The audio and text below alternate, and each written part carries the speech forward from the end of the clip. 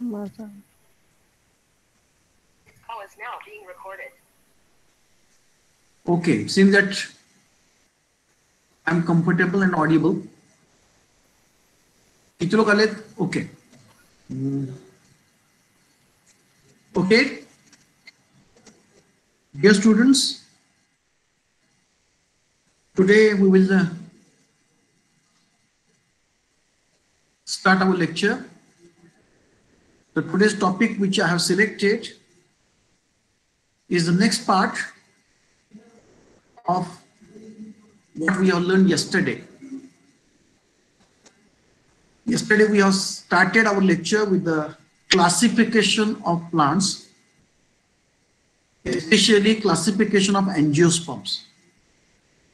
And we have seen that right from the Theophrastus, who identified the diverse forms of habits of the plants, the process of classification of plants began. Many taxonomies they made their contribution, and Linnaeus was the one who is now known as the father of modern taxonomy because he was the one who has provided a first successful sexual classification of the plants in which he considered the importance of the flower. Remember, it was in 17th century, no any equipments were available, merely by observations, the Linnaeus re- realized that the flower plays an important role in the life cycle of the plants and its diversity can be used for its classification. And because of that, there is the importance of Linnaeus classification system. Obviously, the credit has to be given to him for one more concept that the hierarchy what he has created, right from the plant kingdom to the genera and species, all these names they were devised by him and categorically these names were used in his classification system which is known as a species plantarum. Furthermore we have seen that uh, the unification in the scientific world especially in the plant world was brought because of his concept of binomial nomenclature before that the plants were named using in a haphazardous pattern with no relevance at all. And these names, they were mostly regional and not universal. But later on, what the binomial nomenclature was proposed by the Linnaeus and which was accepted immediately, a consortium was created and it was called as the International Botanical Society Later on, it was converted into International Botanical Nomenclature. And every fourth year, they're supposed to meet together and they used to resolve the issues. And because of that, there was a great contribution by this International Society of Botanical Nomenclature who cleared many of these systems in the classification. Yesterday, we have studied two systems of classification and overview. One was uh, of Engler and Prantl, which was based on the Eichler's classification system, which was coming from the German environment. And very interestingly, it was the first phylogenetic system of classification because it was following the principles of Darwin. It's the principles of evolution, principles of phylogeny. And then we have studied the Bentham and Hooker system of classification, the two British taxonomists who had very painstakingly studied the plants. They have recorded the plants almost more than one lakh of at that time. They measured the plants, they described the plants, and they put the plants together in a classification system. which was then called as a Bentham and Hooker system of classification. Remember, Bentham and Hooker system of classification was only for the phanerogams, not for the lower plants. Whereas the Engler and Prantl system of classification was from right from the algae to angiosperms. So it was the whole plant group which was taken into consideration by Engler and Prantl.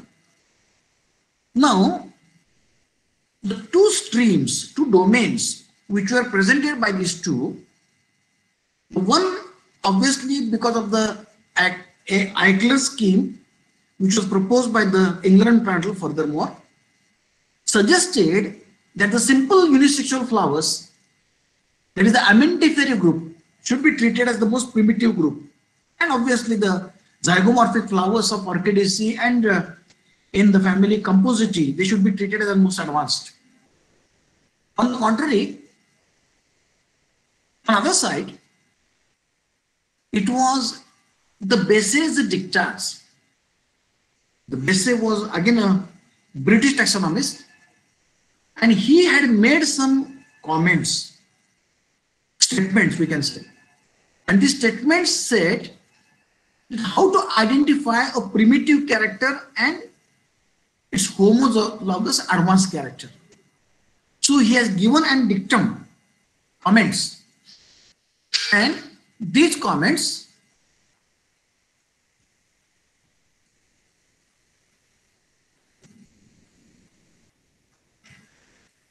they are known as Bessey's dictas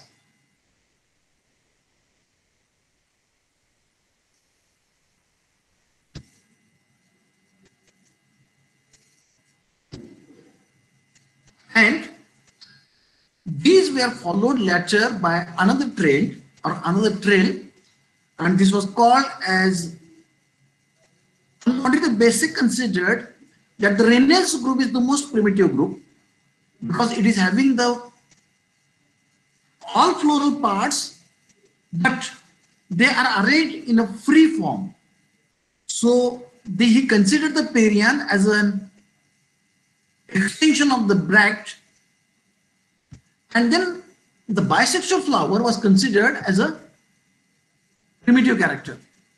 And this was exhibited by the group Ranales. And so the another school that is called the Ranalian school was known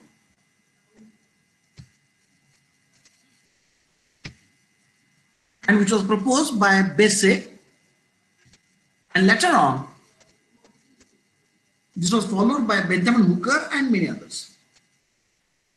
So, Bentham and Hooker system of classification, even though it was produced at the same time of that of Darwin's, Bentham and Hooker have not considered the evolution of the phylogeny and they are not rearranged or they are not implemented it into their classification. And because of that, the Bentham and Hooker system of classification, it is called the natural system of classification. But even though it was becoming very famous, and even today also it is very popular, because it is a sort of a field guide almost teaching everyone.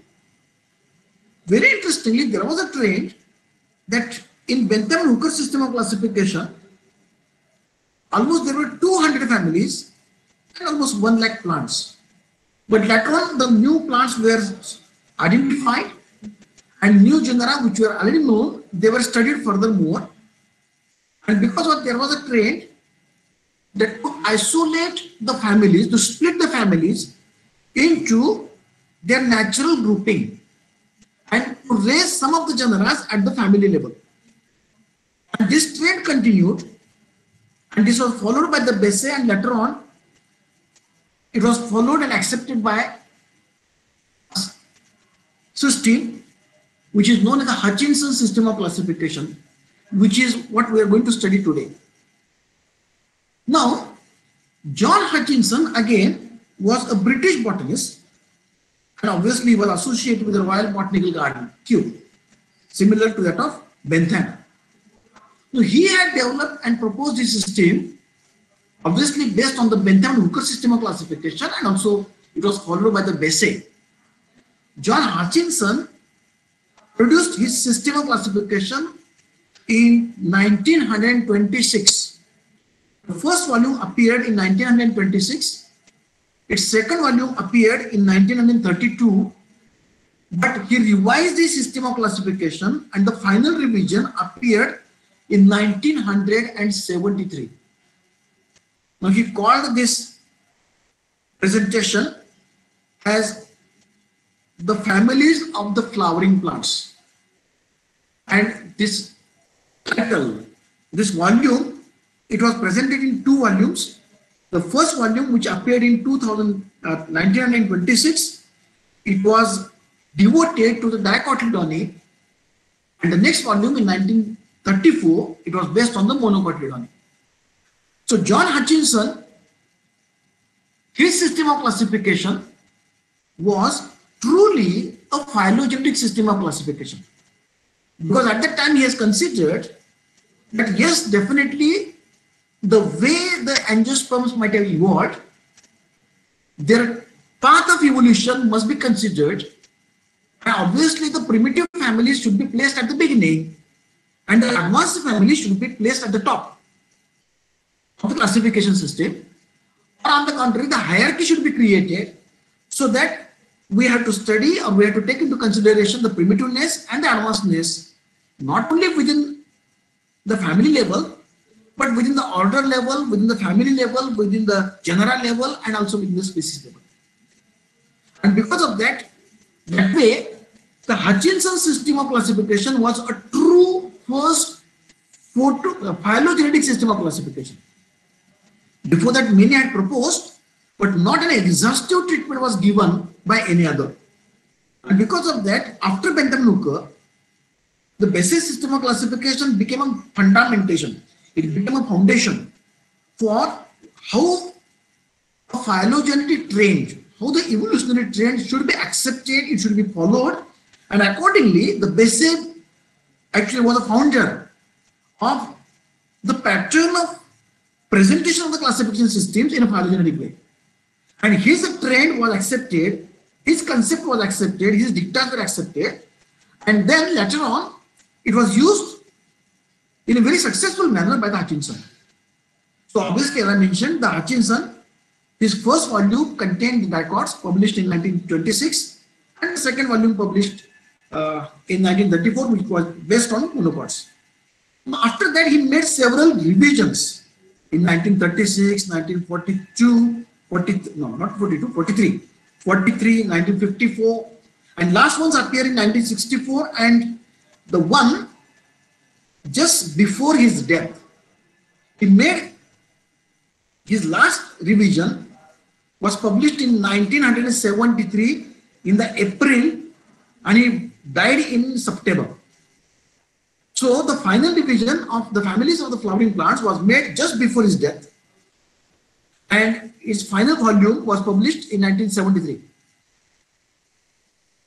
Now this is a sort of a, you can say, an outline of what he has presented. So the flowering plants, now remember, at that time, as I told you, that International Society of Botanical Nomenclature was in existence and they had unified the way of hierarchy.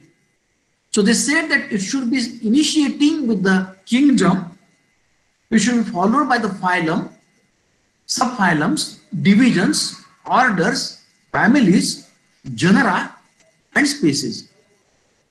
So this hierarchy was accepted by Hutchinson. Remember, this was the chart which he had produced in 1934. But later on, this international body of nomenclature, they accepted that the phylum term of a level, it should not be used for the plants. And because of that, you can see now that the phylum is used only in the animal kingdom, whereas the division and classes is the term which is used in the plant kingdom. So he was proposed in 1934, later on same was modified. So what he has presented, the flowering plants, they are producing the gymnosperms which are more primitive. They are giving rise to angiosperms.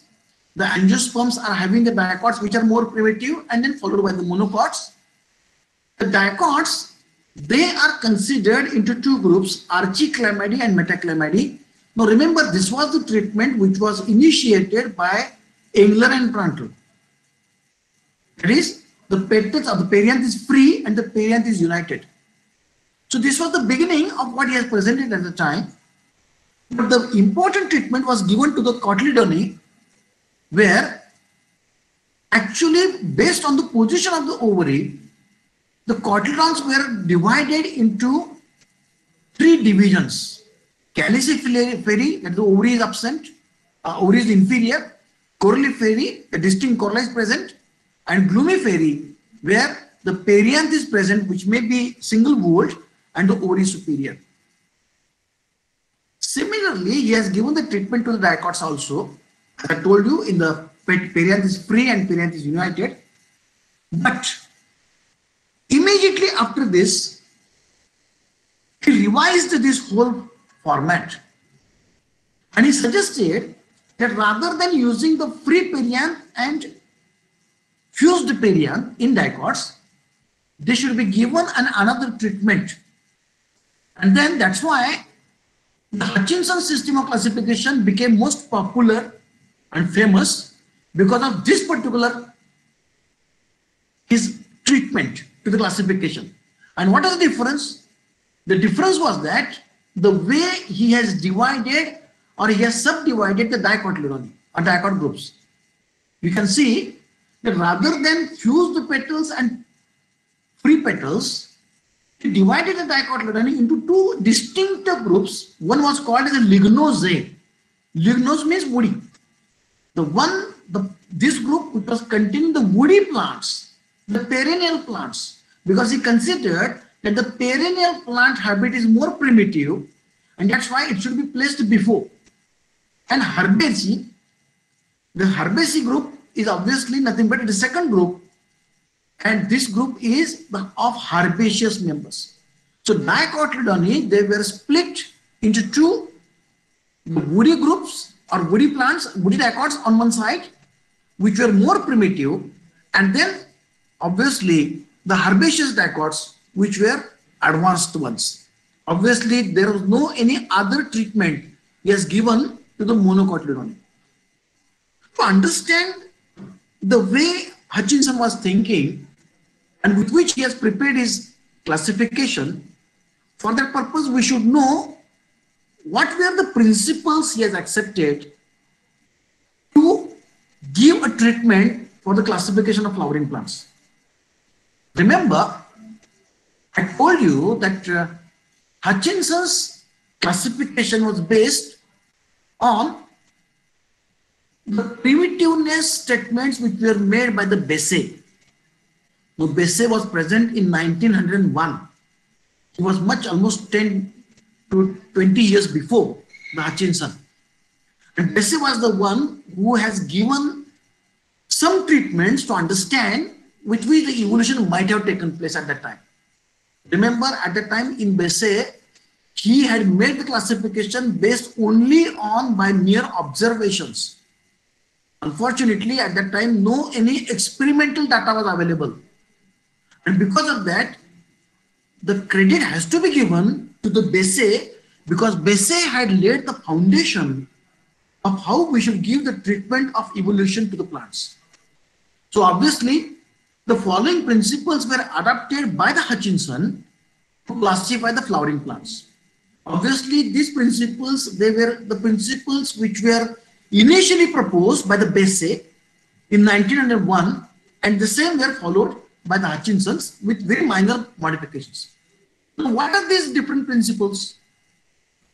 Now, each and every principle is equally important because we have to understand the basic psychology of the way the Hutchinson has classified or the Hutchinson has given the treatment for the classification. He said that the evolution takes place in both upward and downward direction. The meaning of this statement is that the evolution can be from the simple characters to advanced characters. That is from simplicity to advanced characters. Complexity, from simplicity to complexity. And also, he mentioned that even the evolution can take place in a reverse way. from complexity to simplicity. And this is called as a reverse evolution. So the complexity, if the complexity is present, it can be made simplified by reduction and regression in the characters. And that can be called as a downward direction. So obviously evolution is taking place in both directions, upward direction and towards uh, downward direction. That is towards the complexity and also leading towards the reduction in the evolution through simplicity. But during the evolution, all organs do not evolve at the same time. That is very important and very crucial statement. Now, this was going to change the total scenario of how the plants might have evolved. What the statement was saying? That during evolution, all the organs do not evolve at the same time. Remember, this statement is not true for the animals. In animals, all the organs they evolve at the equivalent rate. You are not seeing that any horse which is not having a tail, but which is having a another component or which is having the big. If at all the horse is evolving, the horse will evolve in all directions. But that is not happening in the plants. His, the meaning of the statement was that it may happen that the perianth may evolve, but the stamens will not evolve. The androecium may evolve, but the gynoecium may not evolve. The flower may evolve, but the leaf may not evolve. The leaf may evolve, but the root system may not evolve. Even the whole shoot system may evolve, and its vascular tissue may not evolve. Its vascular tissue may evolve independently, but the bark may not evolve. So he said that each and every component of the plant is having its own progress of evolution. And that's why what we see today, a large diversity in the flowering plants is because of this.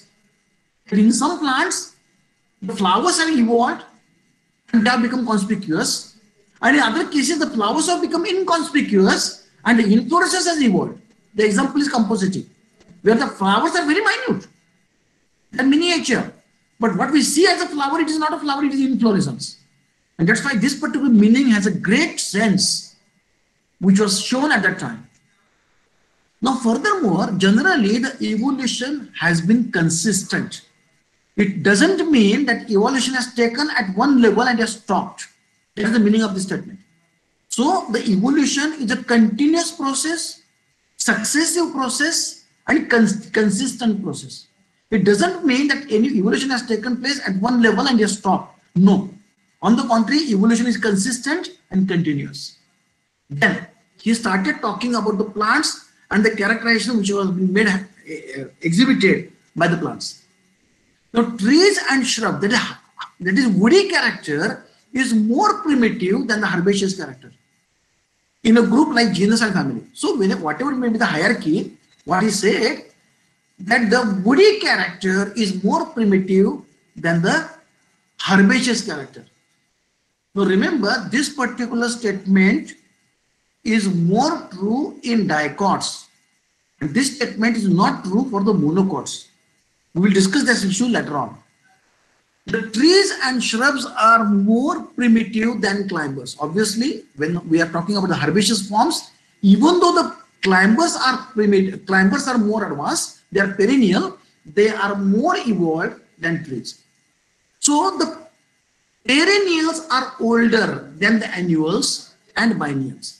So obviously that's why he was continuing with the Ranales, where magnoliaceae are having the woody characters. So when we have the woody characters, the plants are obviously the perennial ones. So what he has said that the perennial habit and the plants which are living for many years, they are more primitive than the plants which are living only for one year or the plants which are living for few years. The reasoning for this was he considered that gymnosperms they are woody plants and they are living for many years. Even the ferns, like seed ferns, they were living for many years. Actually, they were living for hundreds of years. And that's why he said that this particular trait or this particular trait is more primitive than the herbaceous forms which, is, which has been exhibited by the angiosperms. Furthermore, the terrestrial angiosperms are more primitive than the aquatic angiosperms. It is very interesting. It is once the plants have come on the land, the land plant or land vegetation is more primitive and then from ecological point of view, it may happen that these land plants, they have adapted, they have modified, they have altered or they have accepted the water habitat or aquatic habitat. And because of that, from this point of view, all the terrestrial angiosperms are more primitive, whereas the aquatic angiosperms are more advanced. He made rightly that statement that dicots are more primitive than monocots. Obviously, we have accepted this term. Very interestingly, he was talking about the floral arrangement now. And he said that the spiral arrangement of the vegetative and floral members it is more primitive than the cyclic arrangement. Now the spiral arrangement is obviously the arrangement of the fronds on the main stalk in the pteridophytes. And that's why he said that spiral arrangement is more primitive. Obviously, such a type of vegetative cyclic arrangement of the fronds is seen in cycadales or in gymnosperms. Because in gymnosperm, what happens? All the leaves come together first flush, second flush, third flush, and so on and so forth. Whereas in case of pteridophytes, the leaves will come one after another and they are arranged in a spiral manner. So that's why he said that the spiral arrangement is more primitive. Either it may be vegetative or floral members. It is more primitive than the cyclic arrangement. And remember, this is the statement which has clearly indicated, or this is the statement which has been used for the argumentation that the Magnoliaceae family is the most primitive family. Because Magnoliaceae family is the only family which is showing the spiral arrangement of the floral parts on an elevated conical elongated thalamus stalk. Whereas in all other cases, the arrangement is cyclic. And that's why the Magnoliaceae family is treated as the most primitive family. Normally, the simple leaves they are more primitive than the compound leaves. So it has been said that the simple leaves, they are given rise to compound leaves. Compound means paripinnately compound or imparipinnately compound or dissected or any other form or even the reduction in the leaves, absence of the leaves. That is advanced character than the simple leaves. So the presence of the leaves is a primitive character. Presence of alternate leaves is a simple character. And presence of simple leaves with a single lamina is a primitive character than all other modifications. Bisexual plants are more primitive. Now, this was a statement which was used to put the Ranales at the beginning of the angiosperms. Because in the Ranales group only, all the plants, they are bisexual plants. That is, the flower is bisexual. It is having both the stamens and carpels together. So the bisexual plants are more primitive than unisexual plants. And obviously, monoecious plants, they are more primitive than dioecious plants. Monoecious plants mean the one plant which is having only one specific sex organ. That is, male plant is separate and female plant is separate. In dioecious, the same plant is having both the characters. The solitary flowers are primitive than the flowers in the inflorescence. So obviously this was a statement where he said that a single flower is nothing but it's a modification of the sporophyll. And the sporophyll is protected by the additional protective coverings, which was called the bracts. And that's why it was said that the solitary flowers, they are more primitive than obviously the flowers which are born in the inflorescence. As per the types of estivation is concerned, this estivation gradually evolved from the contorted to imbricate to valvate. So for this purpose, he has taken the help of the statement of the spiral arrangement of the floral parts. He said that when it has to be spirally arranged, then the contorted one after another and one are totally inside, such type of arrangement which is called the contorted arrangement or imbricate, whereas one is completely inside the plural part. Suppose there are five, one is completely outside, one is completely inside, and other are overlapping to each other. To the valvate, this is the way of estivation might have taken place because this is the way there is an arrangement of the microsporophylls which are having the microsporangia on the stalk. It is the arrangement of micro single microsporophyll on the stalk. So remember why it is so? This is simply because the contorted or imbricate, they are nothing but they are identified, they are showing the primitiveness of the spiral arrangement, whereas the valvate arrangement, valvate means the floral parts of the component, they are touching to each other. They are not overlapping to each other. They, this arrangement is indicating the cyclic arrangement. So obviously the spiral arrangement is more primitive and the cyclic arrangement obviously is be treated as an advanced one.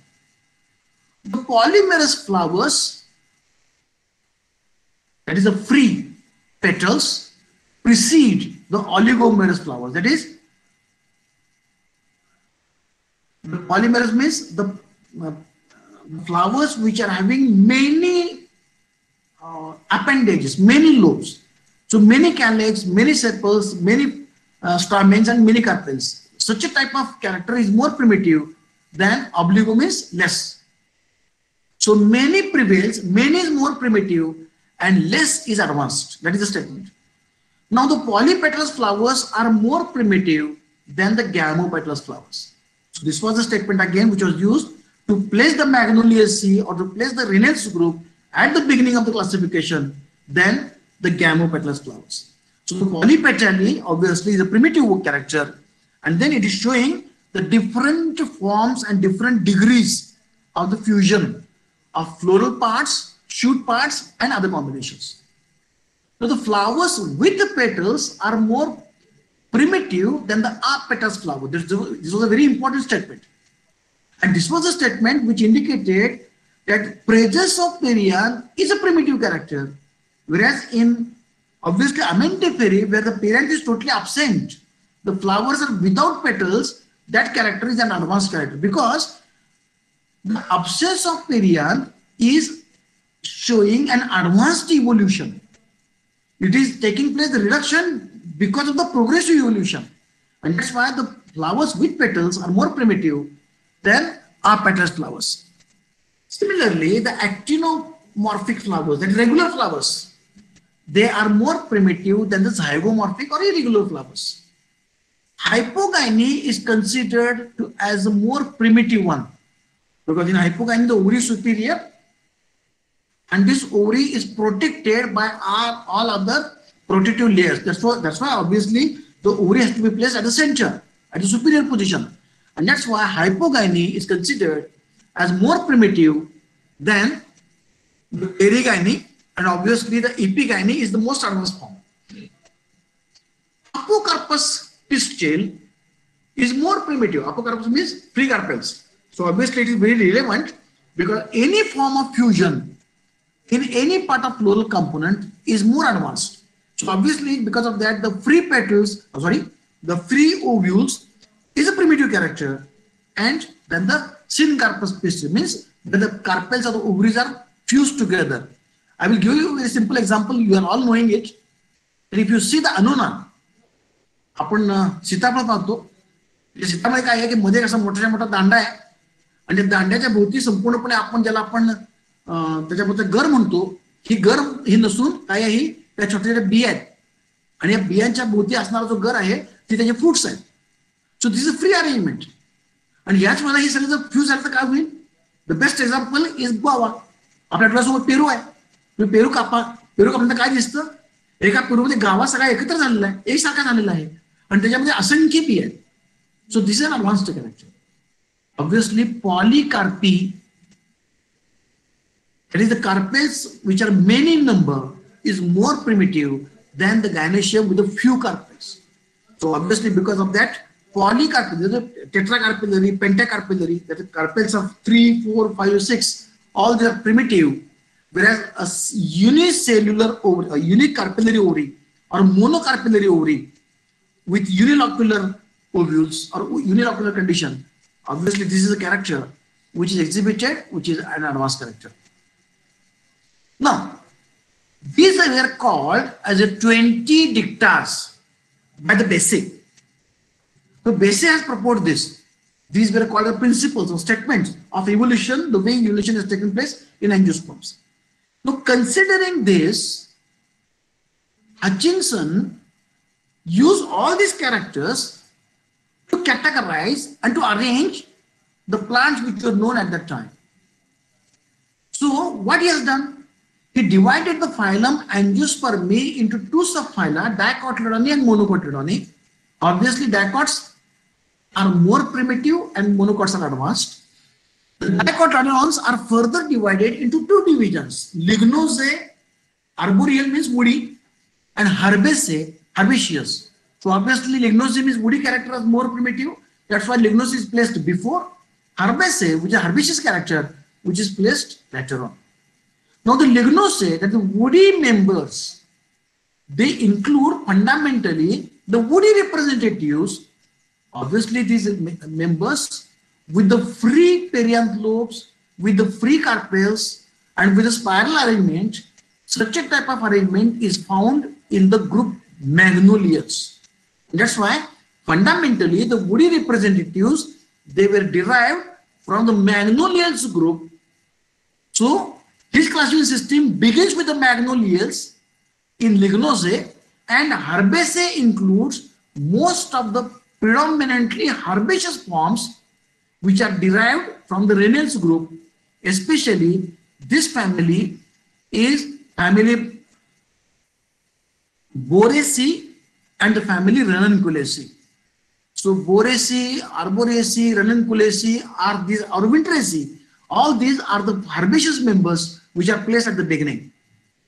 The subphylum monocotyledons are divided obviously as I told you earlier into Calyciferae, uh, and glumiferae. Calyciferae means only perianth is present, there is no calyx corolla. In corolliferae, the corolla is distinct, calyx and corolla is separate, and glumiferae, where the perianth is not distinct and it is reduced. So the division Lignosae was further divided into 54 orders and it began with the Magnolias, that the family Magnoliaceae from the order Ranales was considered the most primitive family of the angiosperms today and the most advanced family of the Lignosae was the family Verbenaceae. Now remember Verbenaceae is showing a typically bicarpellate flower. It is typically zygomorphic flower and it is having a bilabiate corolla. The corolla is having two lips. That is, it is having a bilateral uh, symmetry. The way the animals are having bilateral symmetry. So similarly, in Verbenaceae also, we are getting the bilateral symmetry. So the division Herbaceae is divided further into 28 orders, beginning with the Ranales. Obviously, I told you as a Ranunculaceae, Arboraceae, and many other families. And now this is ending in the family Lamiaceae. Lamiaceae म्हणजे कोणती Lamiaceae म्हणजे तुळशीची family so it is ending in the Lamiaceae Salvia so where again a typical zygomorphic bilateral flowering bilateral, bilateral flower is present.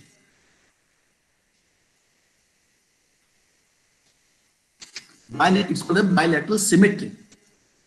The division caliciflori, obviously in the monocots, it was divided into 12 orders beginning with the Butomales.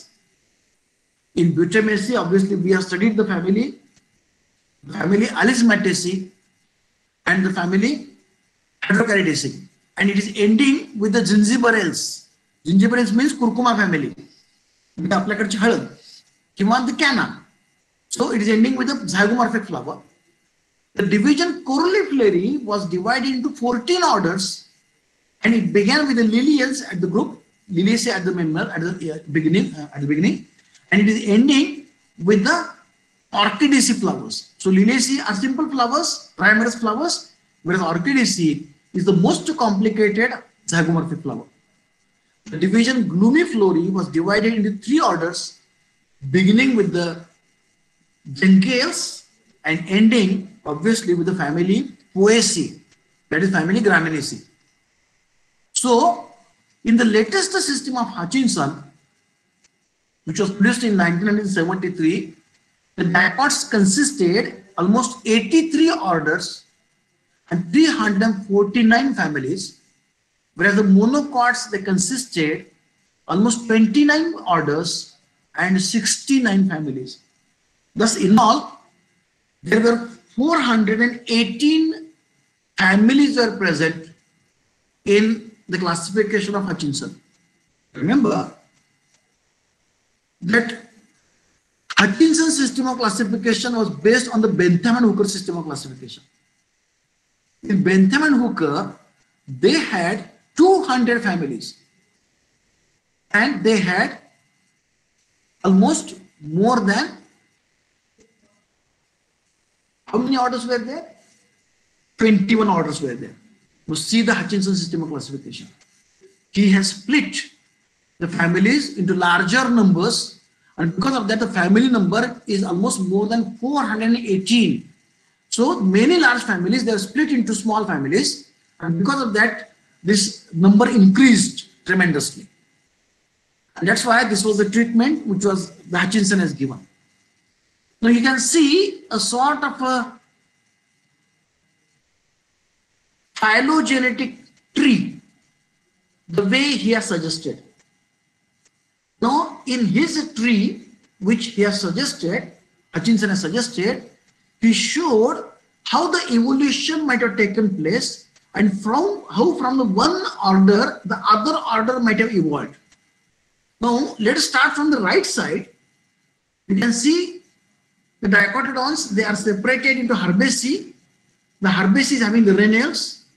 And in Ranales, you can see the Berberidaceae group is there, Saxifrages is there, and which is ending in the form family Lamiales and obviously family Personales, that is Acanthaceae family.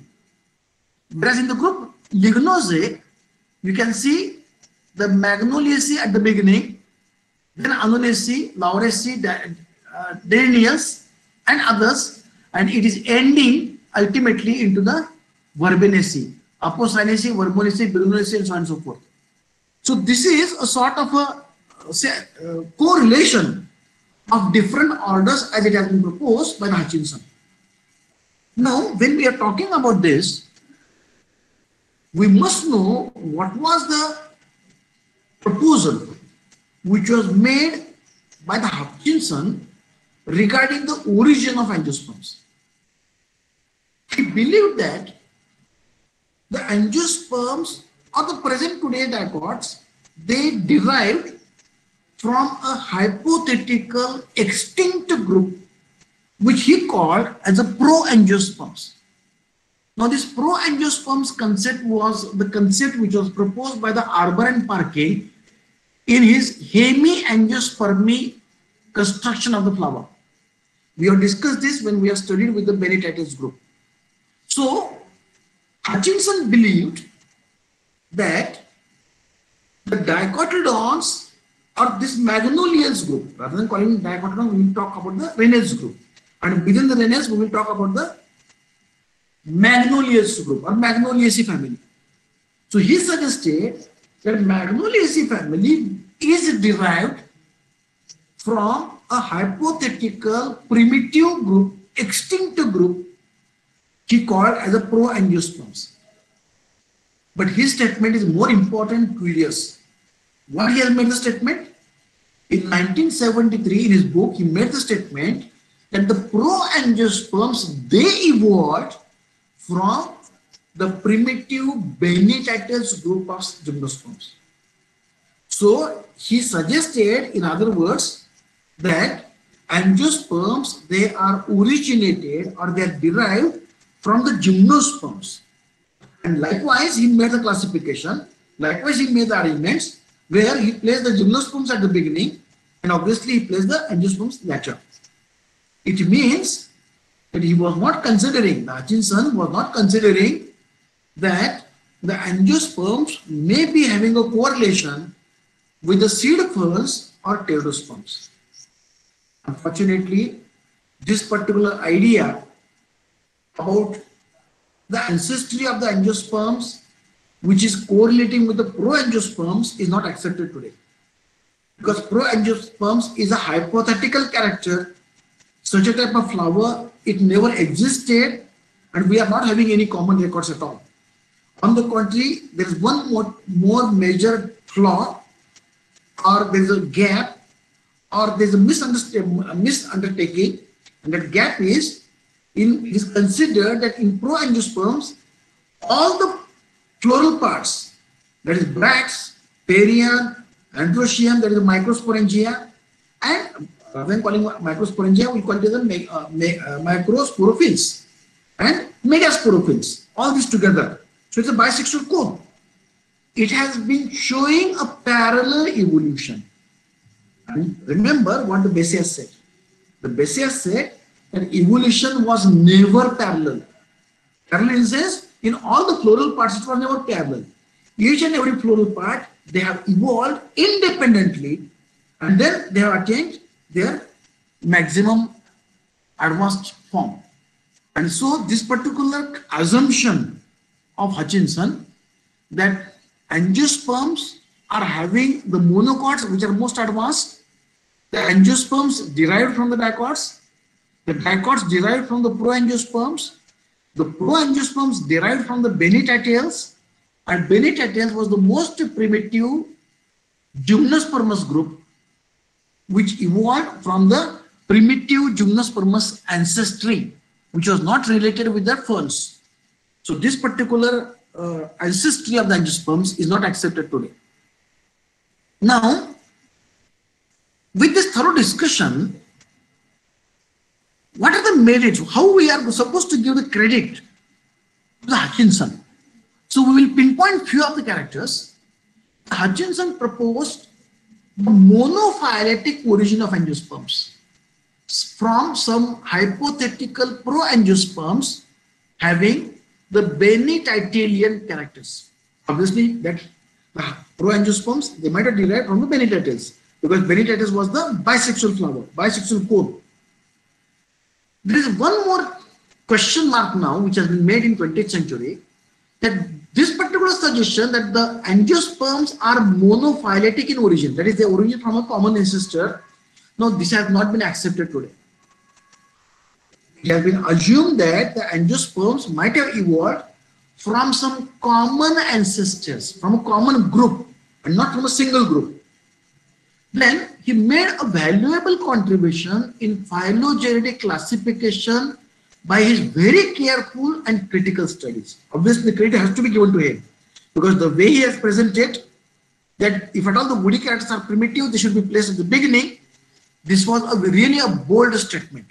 No one has made this statement before and no one has made an arrangement like this.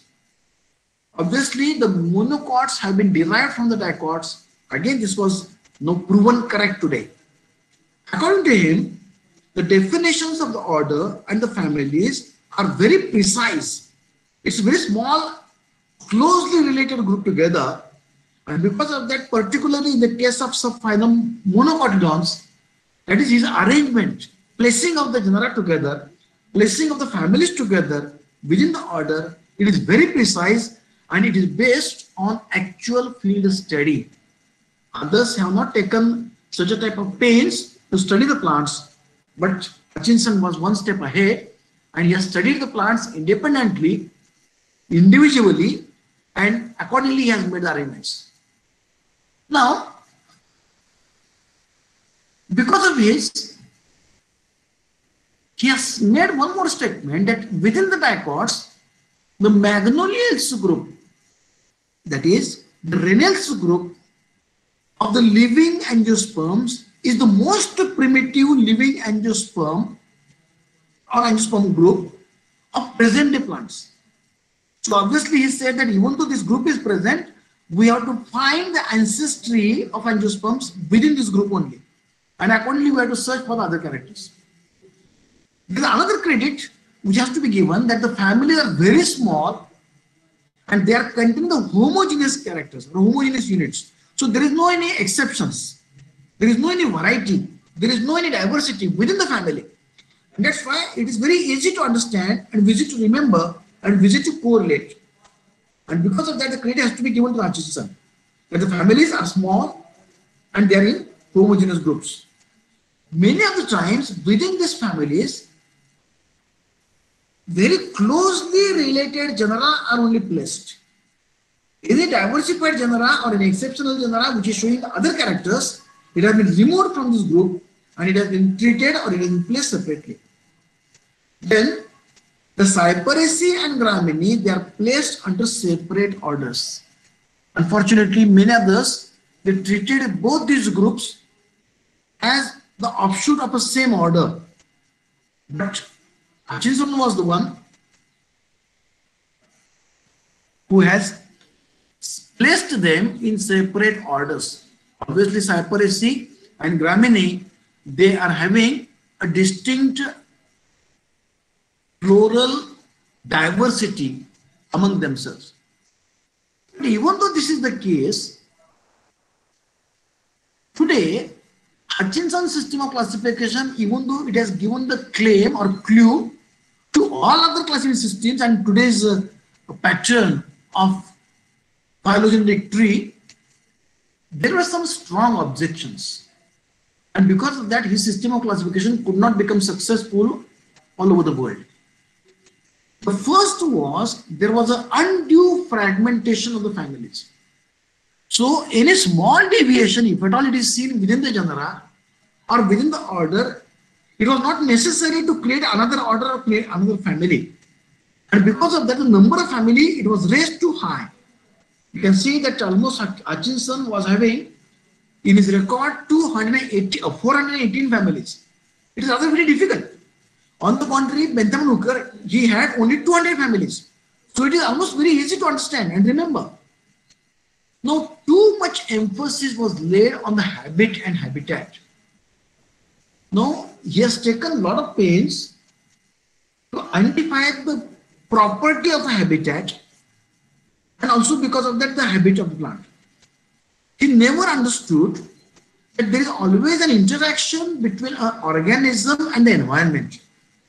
And whatever changes are taking place within the family, the changes which are taking place within the genera or species or plant, they are because of the success of survival potential. So habitat change or modifications or alterations in the characters, they are many of the times subjected to the environment. So the habit, habitat is not important. The force is important, the environmental force is important, but unfortunately, this was given undue importance by the Hutchinson. And thus he created unnecessarily two major groups. And this particular classification or grouping of dicots into two separate suborders or subclasses, uh, they are called as a subphylum, uh, phylums. One is called the Lignosae and other is called Herbaceae, is absolutely wrong. It is absolutely incorrect. Because within the genera also, because within the order also, because within the family also, we are having a diverse range of habitat. For example, we have studied the family yesterday, uh, like uh, Capparidaceae.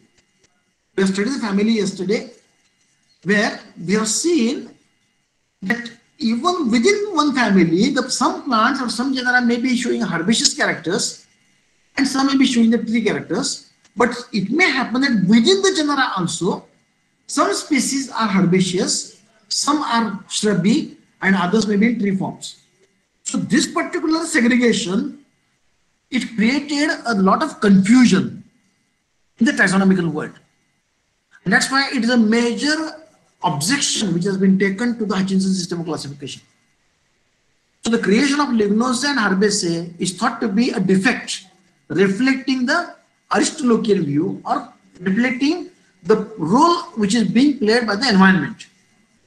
The origin of angiosperms from the Benedictine-like ancestor is criticized obviously by many because the anatomical characters of the early dicots is not at all suitable they are not in correlation, coordination of the cycles. Because cycadales wood or gymnospermous wood is totally different. In gymnosperms, the wood is having large pith and large cortex and the small vascular bundle. Whereas in case of angiosperms, they are having a very large vascular tissue. They are having a very small pith and small cortex. So this is exactly in a reverse form. That's why this particular trend is not accepted. Then, at the beginning, he had placed the monocots before the dicots when he had made the presentation in 2000 in 11,026. At the time, this was the statement. An inclusion of the families like Typhaceae, Sparganiaceae, Pandanaceae in alleged materials, it is not clear. Because particularly Typhaceae and Pandanaceae, they belong to the Cyperaceae group. And these are advanced families. Whereas Alismataceae is a primitive character because Alismataceae shows the free characters. Very interestingly, at this level, there's one more point we have to highlight. That now it has been accepted that in angiosperms, the aquatic habit is a primitive character and terrestrial habit or the land habit is an advanced character. It is exactly reverse in the dicots. In dicots, the land plants are more primitive and aquatic plants are more advanced. Whereas in case of monocots, the aquatic plants are more primitive and land plants, they are more advanced. Furthermore, now it is accepted in 21st century that mo monocots, they evolved from a common ancestor. So the evolution of monocots is a monophyletic from a single ancestor. And now it has been accepted that dicots, they are not monophyletic. On the contrary, they are polyphyletic. That is, they originated independently from independent ancestors. So that's a major issue of discussion. Similarly, Nazardaceae is placed under teleales.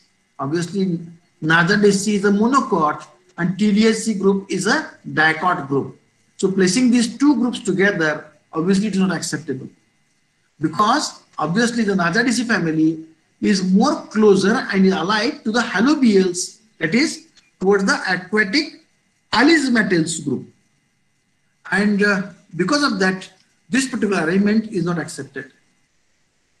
So dear friends, when we are talking about the Hutchinson system of classification, obviously we have to give the credit to him for this was a truly first, obviously, a phylogenetic system of classification, a system of classification which was based on the phylogeny, based on evolution at one level. And obviously, he has almost taken into consideration each and every point at each and every level of order. Obviously, there was few limitations, and because of that, uh, this could not be justified further. And uh, his classification system, even though it was studied very well, it is not used in practice today. So, with this discussion, today we will have a break. We'll stop today and uh, tomorrow we'll go one step ahead. Today we try to study a true phylogenetic system of classification. But remember, if at all you understand what the Bessey has proposed, if at all you understand what was the main framework of the Bentham and Hooker, it becomes very easy for you to understand the Hutchinson system of classification. Because Hutchinson system of classification is nothing but it's a revision, modification, alteration, and obviously a new treatment which is given to the Bessey's dictas and Bentham and Hooker system of outline of classification. Obviously, because of that, if at all you understand both these, it will be very easy for us to understand the Hutchinson system of classification. So, with this concluding remark, now let's stop for the present and we'll be discussing the remaining components of the chapter classification of angiosperms in our tomorrow's lecture. Hope you understood this. I hope that you might have received the notes from Patil ma'am and obviously you will be receiving even the this particular video or uh, this presentation uh, very shortly to you. It will be reaching to you. So with this, let me take a break. Wish you all the best. Stay at home. Stay safe. Take care. But don't become lazy. Read. Prepare the notes. Present yourself.